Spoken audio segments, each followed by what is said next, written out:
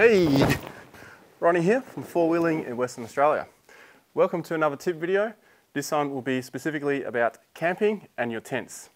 So I'm going to do some of the tips from here at home in the backyard and the rest of the tips will be from out in the bush.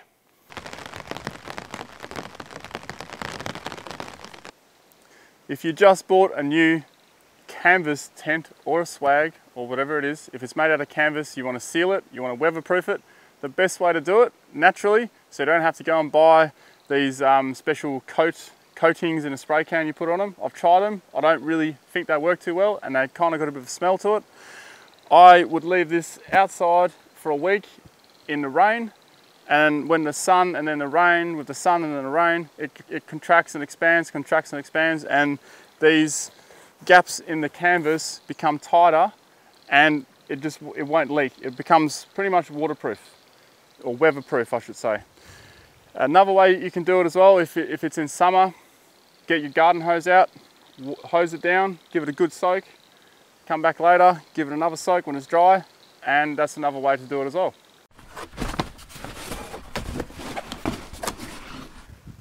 If this is the first time you're ever setting up a tent, do it at home or at a park in a controlled environment so you know what the hell you're doing when you come out here. Now, Brian has used this tent before, but it's been a while, eh? Yeah, it has been a while. Probably like six months or maybe a year since he's used it. he can't. Two years. Two years, he says.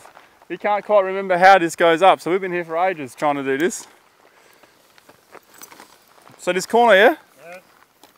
This is my dome swag kind of thing you can call it.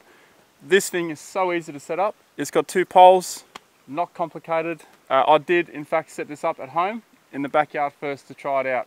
So always set your tent up at home or at the park before you head out to camp. All right, so now I know how to set it up. So if I arrive at camp in the dark, which I normally do quite regularly, um, I've got a fair idea how to set it up now because I've set it up in my backyard. Tip number two about a new swag. Check the kind of pegs they come with. Usually whatever brand you get, they usually come with useless pegs. Now these don't look too bad, but they're fairly short. So I'm going to take my pegs from my old swag, which I also replaced with longer ones, and I'm going to bring them along with this kit here. And check your guide ropes too, if you think you've got enough or if you want to bring some more replacements. And work out where these actually are meant to go.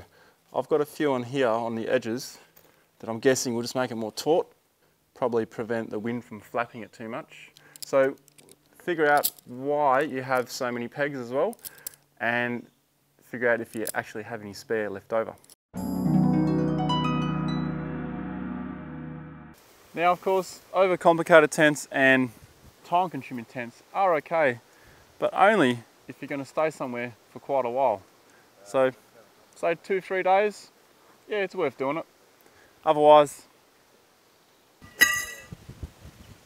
when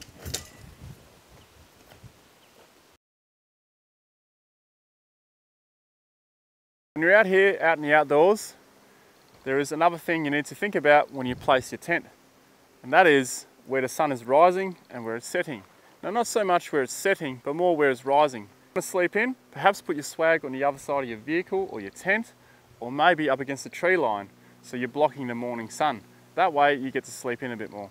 Also, you're not going to wake up due to the heat. And even with a swag, with a light coloured swag canvas, the light will still come through. And especially with these bigger tents, the light will just come right through and these big tents heat up straight away.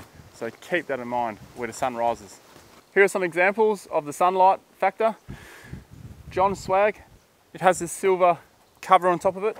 He says even if it's broad daylight, light does not come through here at all because he's got this cover on. With mine on the other hand, I am in a good spot away from the sun, which is that swag down the back there. But because it's given the light color of the material of the canvas, the light really comes through. And the worst of all is where we've placed the big orange tent. That is in the worst spot for sunlight. But sometimes you can't help where you're, where you're going to put your tent. Big tent versus small tent.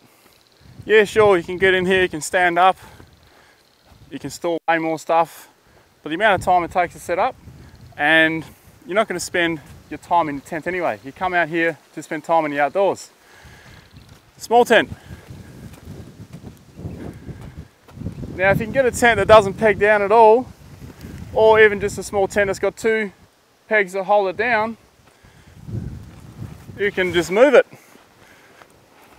Now I've decided I don't want my tent out anymore. I'm going to move into the shade. Home sweet home.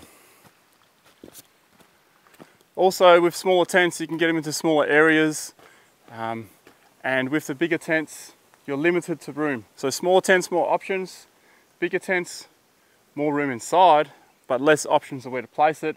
And when you got those real long poles that are two, three meters long, they're also a pain to set up if you're in a tight quarters. So keep that in mind too. You can smell it. I'm here with John and we're talking about some bad smells you used to have in, in the swag. I'm not sure if it's because of a bit of a fart bag in there or, but I think it was a common problem with some of these swags. They had a really horrible smell. Yeah, I all have, yeah. Yeah, but you Yeah. you fix it by, Yeah, my wife said, you know, why not try vinegar? So we put some white vinegar in a spray bottle and sprayed it inside, let it dry, and I haven't had any smell since. okay, how long did you let, let it dry for? We just let it dry for about half a day. Half a day? Yes. There you go. You have a stinky canvas tent or a swag, use some white vinegar. White vinegar in a spray bottle. Now of course place your tent in a spot where there's no ants or away from an ant's nest, not directly on top of an ant's nest, but it's not always possible because sometimes there's just ants everywhere. You can be away from the nest, but they might still be walking around. You can get some low irritant uh, surface spray, and what I do, and what the other guys do too, they spray the zipper on their tent and just the base of their tent with a bit of, um, it's, like, it's like a bit of a surface barrier and it stops them from climbing on your tent or getting in there. So that's another good one.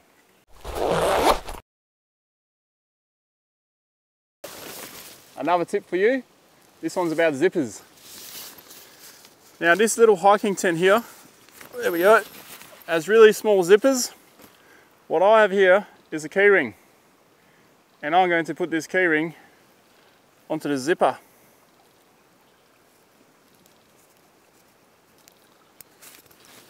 And now it's much easier to use. Here's another example of a zipper fix. Bit of a different type of cable tie here, I, guess it is, because the zip broke off. But you could also use a bigger keyring for that too. So, or a cable tie.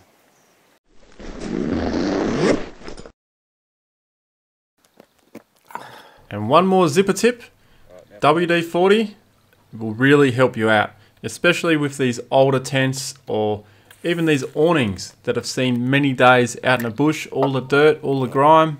WD 40 sorts it right out. Well, I hope you found those tips useful and thank you very much for watching. If you'd like to see more tip videos, check out these two down here. And if you want to support the creation of this kind of content, you can head to patreon.com slash Ronny Dahl. Thanks again, do subscribe, see you later.